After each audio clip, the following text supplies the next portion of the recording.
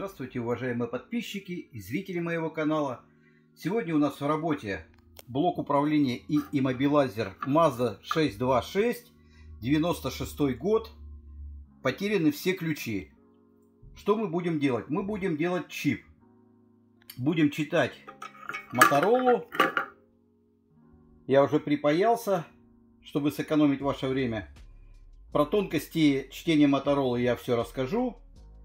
Так, будем читать Моторолу.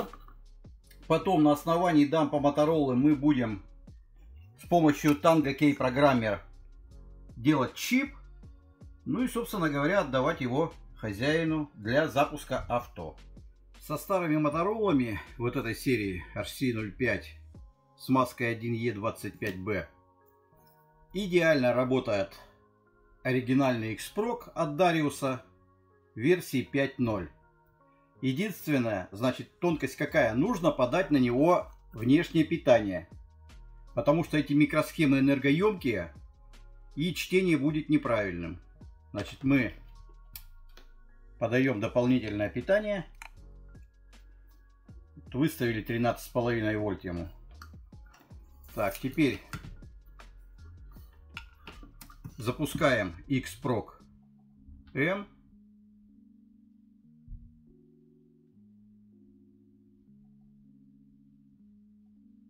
Выбираем микросхему нашу.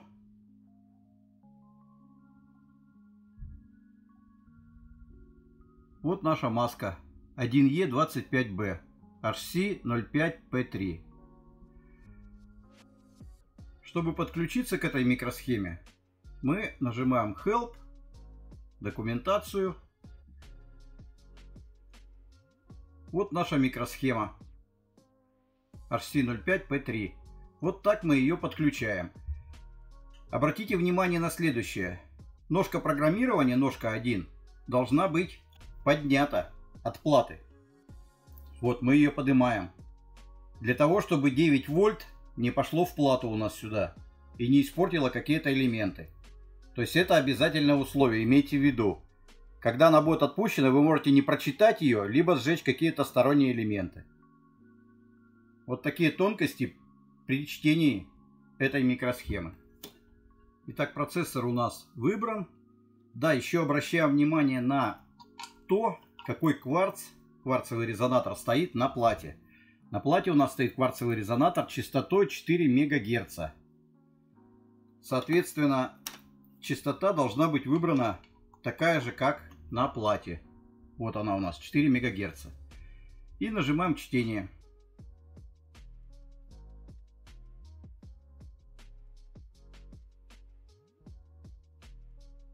Ну вот наш идеальный девайс Xproc M версии 5 от Дариуса прочитал эту микросхему очень быстро. Так, давайте сохраним этот файл. Напишем има 626 и напишем сохранить. Вот так мы осуществили чтение микросхемы Motorola RC05P3 с маской 1E25. И сейчас мы этот дамп должны подгрузить в танго для того, чтобы написать ключ. Микросхему мы запаяли на место. Точнее не запаяли, а то, что подымали первую ножку и пропаяли всю как следует ее от лака, когда очистили. Все, собираем наш мобилайзер. Вот он. Он нам больше не нужен. Теперь открываем Tango Key программер.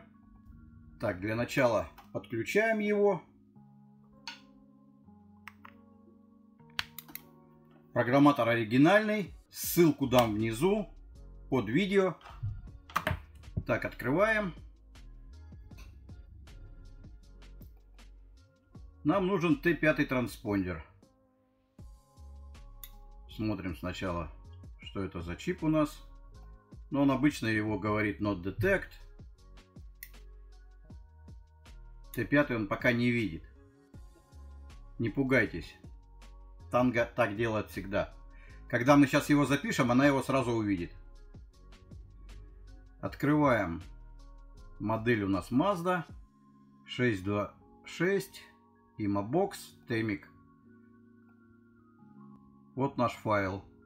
IMA 626. Вот он показывает, что у нас три ключа есть. Давайте первым ключом мы пишем наш транспондер Т5. Все записал. И теперь давайте посмотрим, как он определит его. Вот видите, сразу же определил Темик 12, ID 12. Вот такой вот чипчик.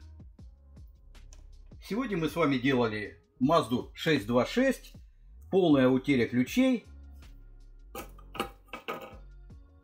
Читали Моторолу из иммобилайзера, прописывали чип Temik T12 с помощью Tango Key программер. Работа выполнена, выполнена успешно. Всем всего самого наилучшего, много интересной работы, много хороших клиентов, а самое главное крепкого, крепкого здоровья.